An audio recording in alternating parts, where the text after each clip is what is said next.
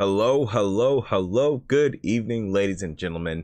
Thank you for stopping by. I just got done watching the first episode of Loki.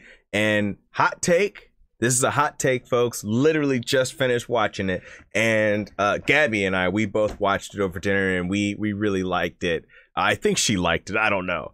Um, I'm pretty sure she's going to be swinging by here eventually in future episodes to kind of give her input on some of the situations uh, in the Loki verse. Um, but folks, uh, I got to tell you, that was a fantastic first episode. Uh, great acting. That was not what I expected at all. Um, it's nice that I have that sweet surprise, very much like I experienced with WandaVision.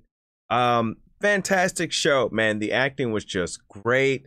Um, it was just it was fun. It was really fun. I really enjoyed Owen Wilson um, as uh, Agent Mobius, and I really enjoyed their uh, conversations, the the dialogue between those two. Um, you know, just it was just amazing. Uh, Loki, this is another side of him that I don't think we, any of us have really ever seen. We've seen like little teases here and there, um, but I I liked it. Um, I liked it a lot, folks. And this episode, I don't know if this director is going to be directing more episodes of this show or, or not, but uh, looks like for episode one, this was directed by Kari Skogland. Um, she's directed a few episodes from uh, Boardwalk Empire, Walking Dead, The L Word, uh, uh, House of Cards, even. I mean, there's a, a La Femme Nikita. There's so many shows that she's been involved in. Um, it's just, it's, she did a great job, man. So uh, that's just a quick little hot take of my opinion. I enjoy Loki a lot. Um, it's fun. It's a little dark. It's quirky. It's unique. It's strange.